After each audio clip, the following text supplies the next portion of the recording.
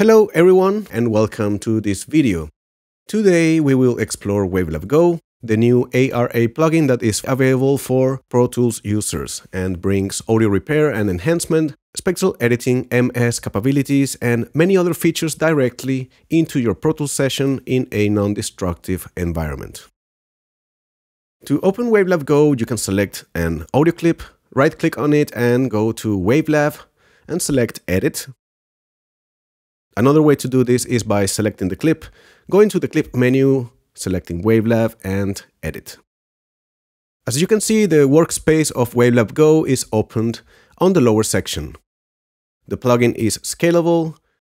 We can undock it if we want to place it in another monitor, for example. And as mentioned before, it is a non-destructive environment, so the undos on Wavelab Go are independent from the undo of the Pro Tools project. If we edit the audio, we can always undo the processes with the arrows found at the top right corner in the command bar. In the upper section of the plugin, we have different tabs with lots of functionalities. I will go through these tabs in detail in just one minute. First, I want to mention the different display modes we have available. Waveform, rainbow, spectrogram, and wavelet. The waveform display is selected by default and it displays the waveform of the audio file. The rainbow display shows the spectral properties of the file as a multicolored waveform to identify patterns and spot certain frequency ranges. The spectrogram displays the frequency spectrum of the audio and allows you to make precise frequency-based corrections. This is useful for cleaning up recordings, removing unwanted noise, or isolating specific frequencies, for example.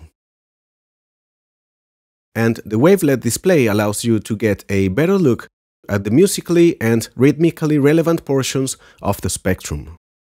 It displays a higher time resolution and higher frequency resolution, optimal for musical content. Aside the display modes, we find a turning wheel we can click and move with the mouse, and it has two different functionalities. When the waveform or rainbow display are selected, it will show the loudness RMS as an overlay. And when the spectrogram or the wavelet displays are selected, then we get the waveform of the audio displayed as an overlay for visual reference. There are further edit settings for both the spectrogram and the wavelet display. Here we can adjust the color scheme, magnitude range, frequency scale, FFT bands, so plenty of options to customize the way audio is displayed and we have some presets in case you prefer a different color for the display mode.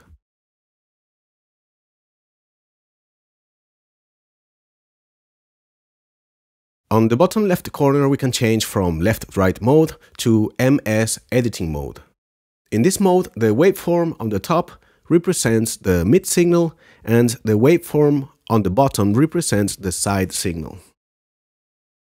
If we want to process only the side signal, we simply mute or delete the upper waveform, and now we hear only the side signal.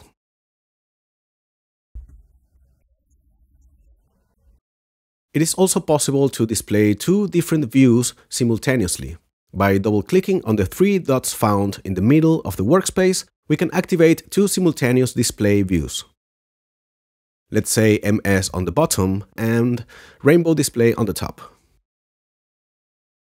We can sync both views pressing the button that contains two arrows.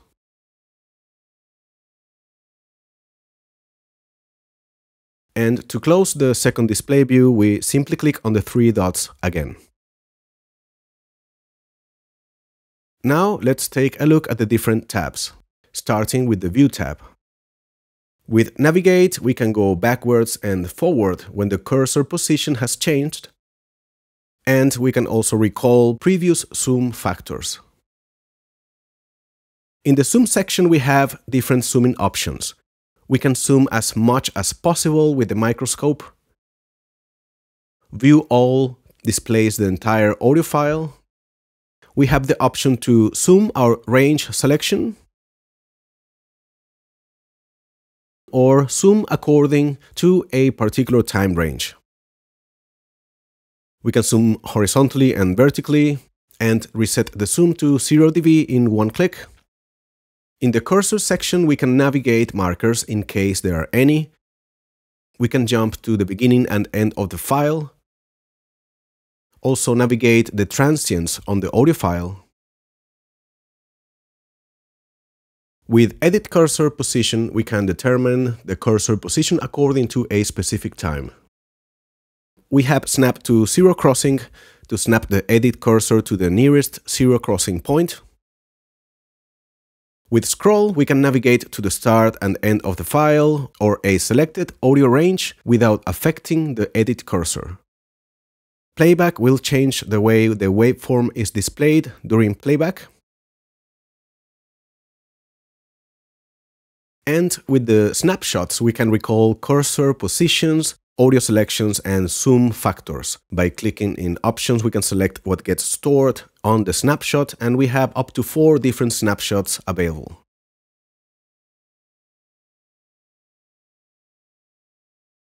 And the last section named peaks triggers the rebuilding of peak files.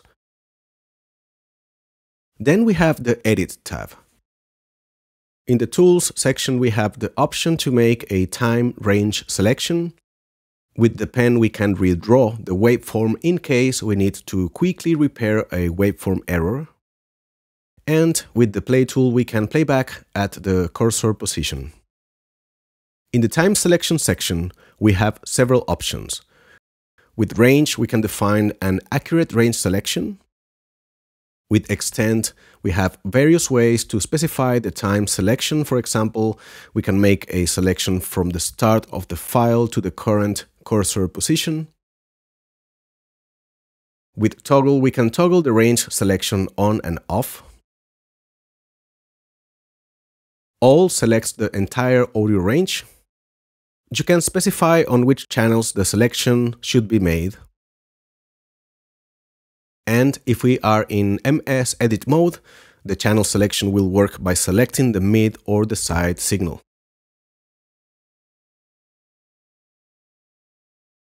Regions allows you to select a range between two markers. Since we don't have any markers yet, it's not selectable at the moment.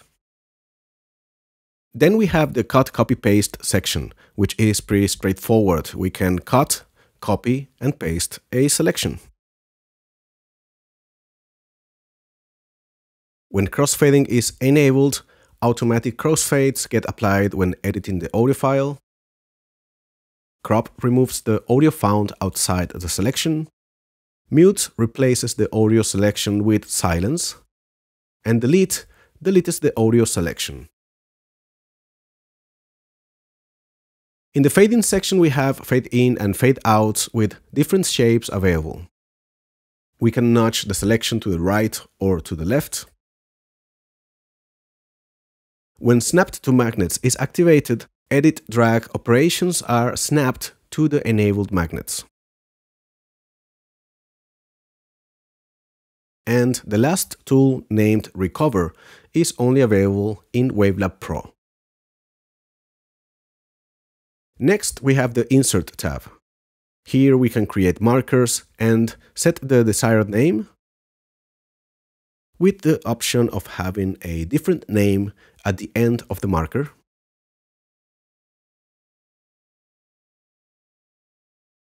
It is also possible to insert silence. And we also have a bleep censor available. In the Process tab, we have commonly used processes. Gain changes the audio level, with envelope, we can create an envelope for the gain level. And we can also remove the DC offset if necessary. On the normalizing section, we can change the peak level of the audio file,